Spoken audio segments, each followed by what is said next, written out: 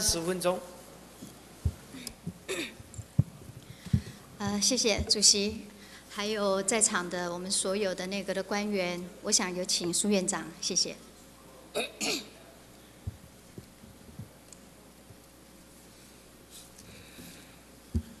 哎，高经伟你好。院长你好啊，这是我们第三次在这边讨论事情哈。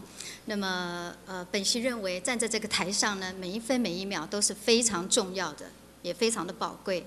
那么，我想呢，我们在这里不仅仅只是探讨问题，也同时的希望能够用这三十分钟的时间来解决一些问题，对不对？院长，你认为是吗？那当然。好，谢谢。那么，我想呢，今天这三十分钟，我有一段非常重要的原住民族的历史背景，要让在场的所有的那个官员，包括苏院长您，清楚的了解一下。因为如果不了解原住民的历史背景的话，就不可能有原住民族的思维的政策或者去执行哦。没有原住民族的思维，那么误解就会产生。于是这十几年来，这几十年来，政府认为公平正义的事情，就因为不懂原住民的历史而产生了误解。于是乎，在原住民的眼光来看，它根本就是不公不义。所以呢，我想呢。呃，原住民在这几十年来一直在错误的里头呢，跌跌撞撞的摸索来制定我们的法律。所以呢，我现在要求我们的院长，当然我也要求在场的所有的官员，请你们提下你们手上的工作，请你们好好的听这段历史，可以吗？谢谢。呃，首先我要从一八九五年开始谈起，因为这是原住民最大的历史伤痛，也是台湾这块土地最大的历史伤痛。一八九五年，日本的军队攻占了台湾，成立了殖民政权的台湾总督府。当时的总督府，也就是现在的总统府。那么，在一八九五年的十一月的时候呢，日本清台的第一任总督府叫做。华山之际，在当时他颁布了第二十六号日令，这是一个行政命令。他说：“藩地等于无主地，等于国有地。”那么藩地，当然这个藩指的就是原住民族，现在我们称为原住民族。藩地等于无主地，等于国有地，也就是说，拿不出任何官方证据以及山林原野的地契。通通视为官有地。我们不解，几千年来，我们的祖先就在这块土地上依存生活。我们到底要跟哪一个官方拿证据？我们不知道我们要跟哪一个国家拿原住民的地契。更何况有原住民的文化来说，我们没有文字。我们原住民族的族群是对于我们土地的传统领域界定是每一个族群不相同的。譬如有人是用藤树藤编织，有人是用石头堆积，然后堆起来之后，让每一个人知道这是我的传统领域。可是就因为二十六号日令，翻地等于无主地等于国有地这样子的一个契约，一个强制命令。强行剥夺了原住民的土地，剥夺了原住民的赖以生存的传统领域。那么，把这样子的传统领域放在哪里呢？放在福垦署底下来管辖。然后，这个福垦署呢，就是准备要大举掠夺整个原住民山区的山林资源。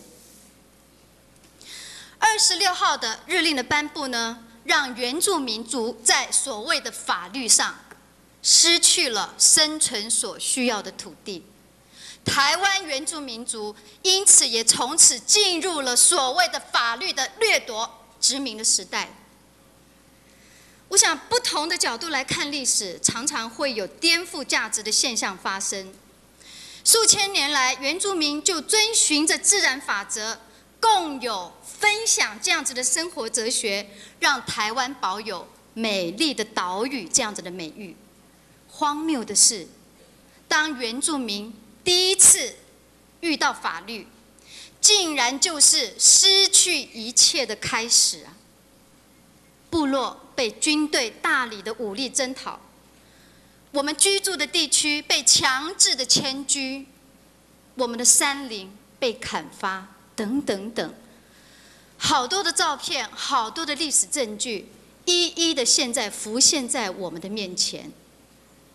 院长，你是学法律出身的，你可能从来没有想象过，当原住民第一次碰到所谓的法律，我们是如此如此的悲惨。一个二十六号日令，就把原住民的土地通通收为国有。我们再来看，一九零六年到一九零九年开始，日本为了要强化所谓的有效统治，殖民政权开始推进了爱永线。我想请问院长，您知道爱永线吧？知道吗？那请问在场的官员，你们知道爱永线吗？很显然不太清楚，只有我们的瓦利斯贝林主委知道。我简单来解释一下，所谓的爱永线是在清朝的时候，为了防止汉人跟原住民族互相干扰，于是乎就在原住民的土地外围就成立了画了一条这个所谓的爱永线。可是日本的殖民政权。为了要掠夺原住民的山林资源，为了要有效的统治原住民，于是呢就把大队的军队开进了爱永县里面，慢慢的把这个爱永县缩减。当时的爱永县，也就是原住民的土地，总共有一百八十五万公顷。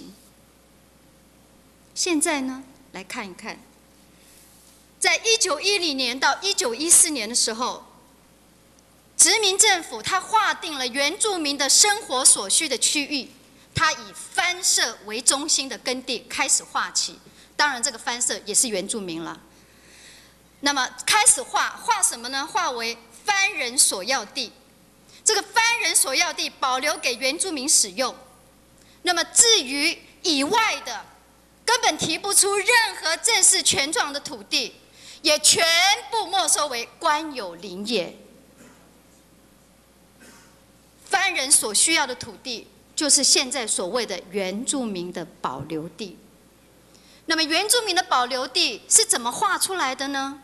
当时原住民的人口是八万人，那么他以一个人为三公顷的耕地开始算起，三八二十四，于是乎原住民八万人人口的耕地总共有二十四万公顷的土地是让原住民耕作的。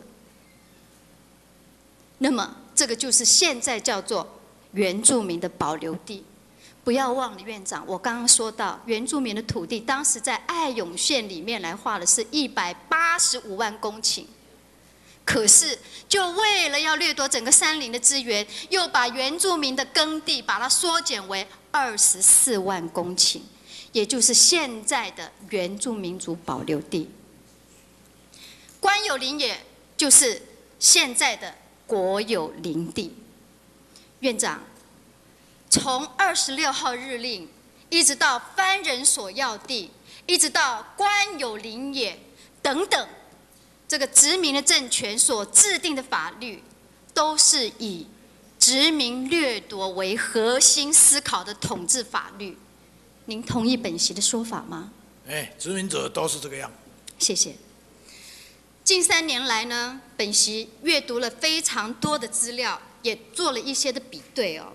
本席发现了一些非常奇妙的巧合。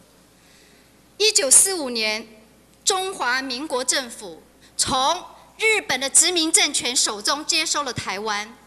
照理说，过去以殖民掠夺为目的的不公不义的法律，它应该要立即的废止。可是。中华民国政府呢，并没有这样子。历史的轨迹呢，总是令人意外。殖民政权的总督府，它换了一个牌子，变成了中华民国总统府。掠夺原住民土地与山林资源的福垦署，变脸变成林务局。福垦署下设十一个支厅。变成林务局现在的八个领管处，二十四万公顷的番人所要地，原封不动的转成了二十四万公顷的原住民保留地。二十六号的日令，从原住民手中抢到的国有林、官有林也，变成林务局所管辖的国有林地。殖民政权就好像一个变脸一样，变成了所谓的民主国家。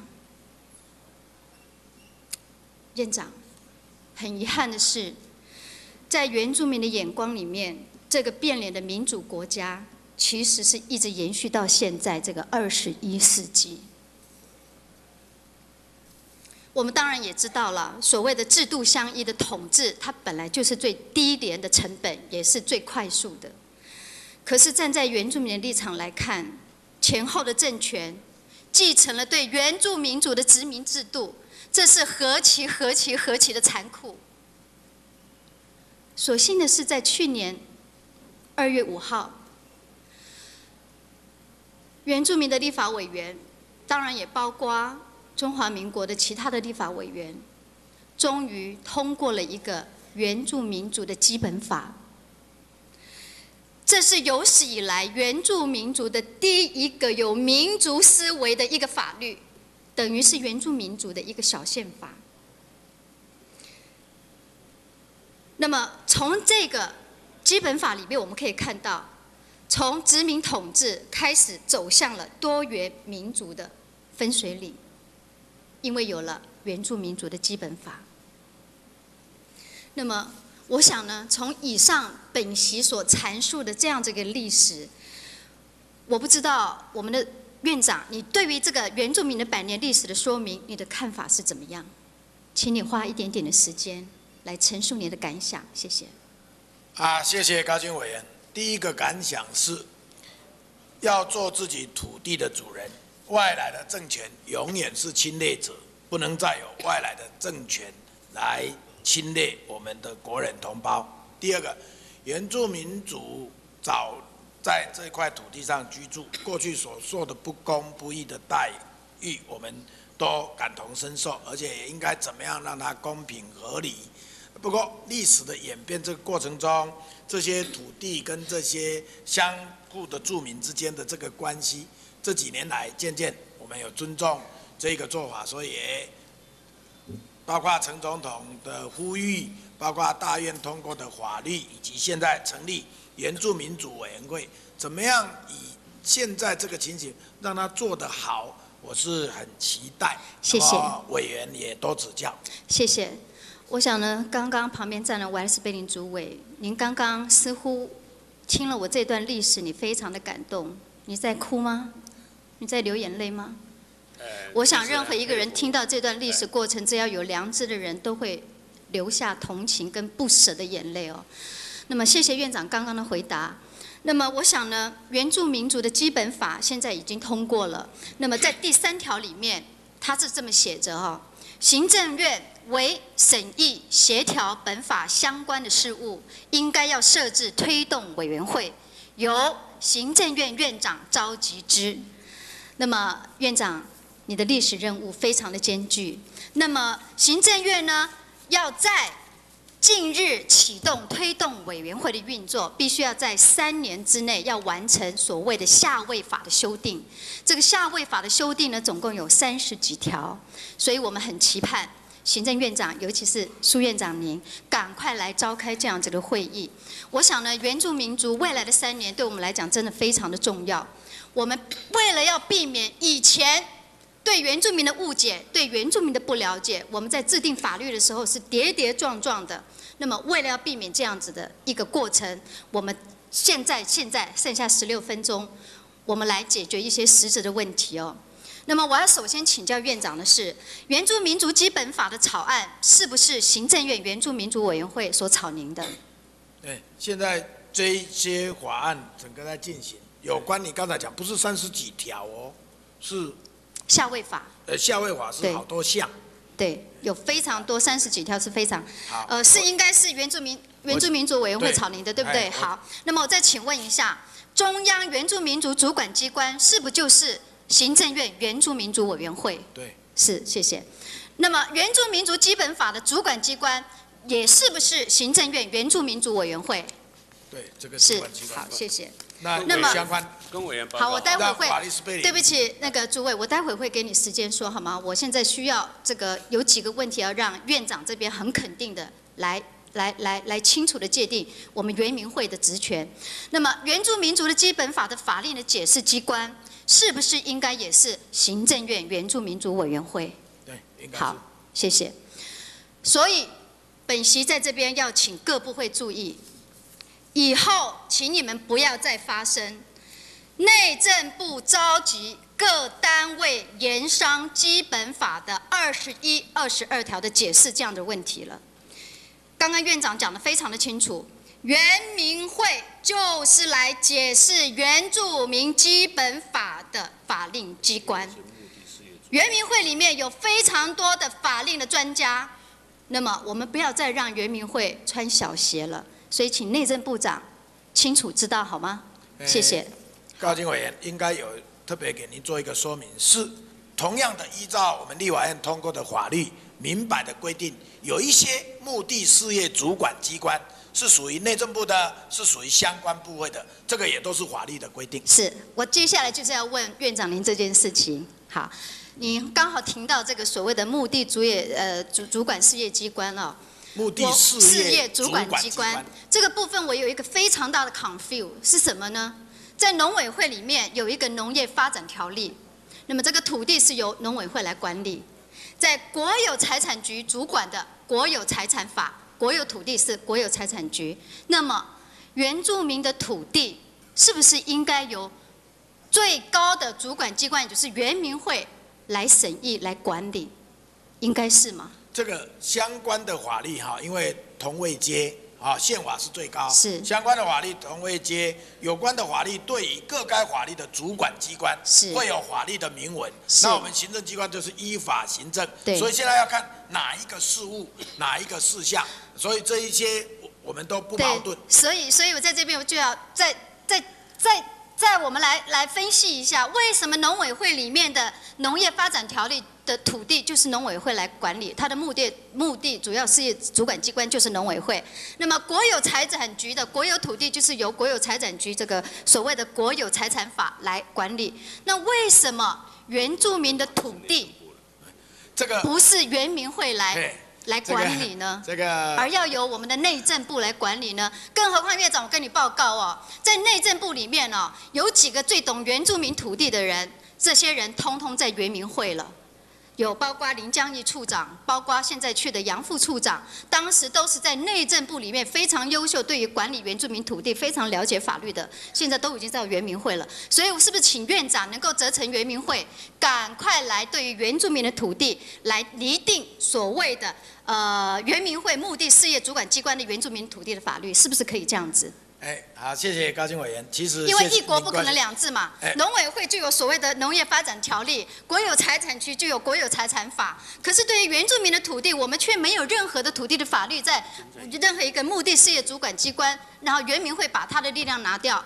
如果是这样子的话，那么我们就不要原民会，我们就干脆把原住民的事务归在内政部来管理，是不是很好呢？哎要不然的话，这样子好像是一国两制的问题。哎，这个这个高金委员其实不会这样，因为您知道，我们法律的产生也是一步一步，那么各政府各该机关的设立也都有它法律规定的职责，是而各该目的事业主管机关也都是依据各该法律它的尽到法律上规定的职责。是那有关的相关的这些规定。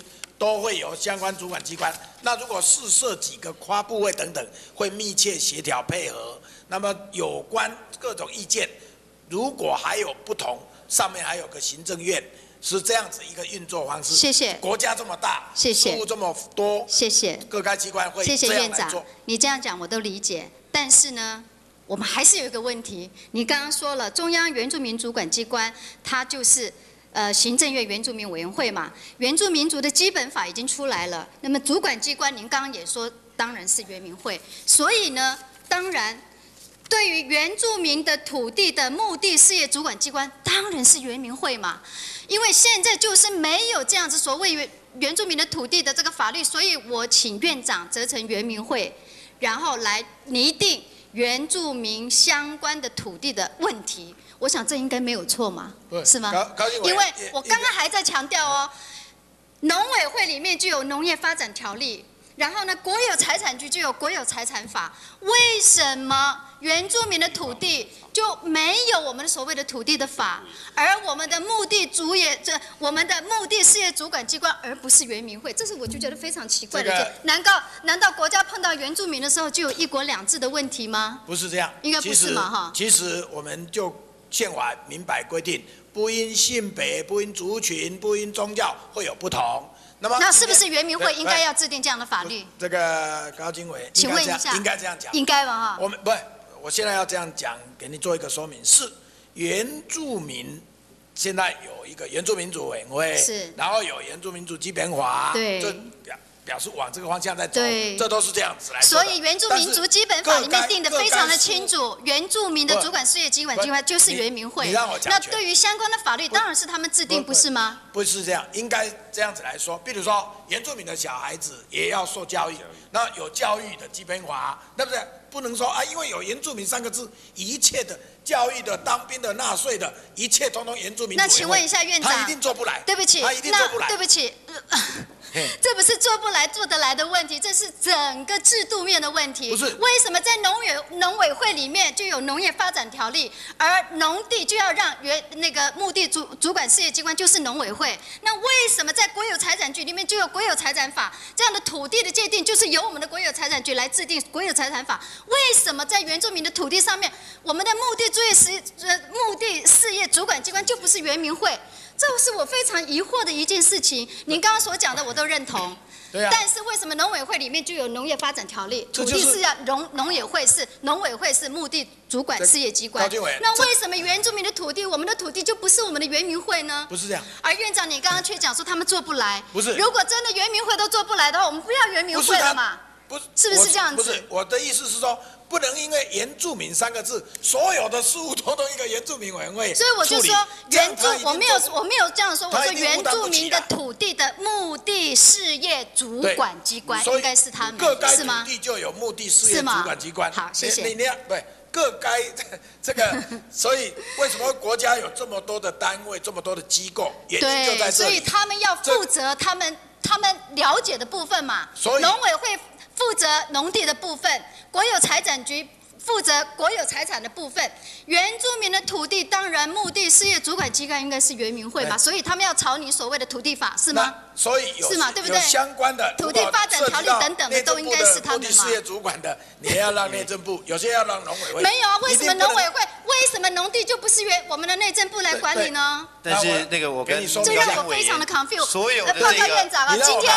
今天上面有十位是来自我们花莲的族人，更有大概一百多位在二零二号的事哦，在那边在看所有的转播。这个您刚刚这样子的回答，让原住民非常的 confused。我们刚刚就讲说，所谓的法律。所谓从一八九五年开始，原住民法律是这么样的不公不义的对待对，难道到了所谓的民主制度的国家，二十一世纪的变脸，我们还是依然看到原住民的状况是如此吗。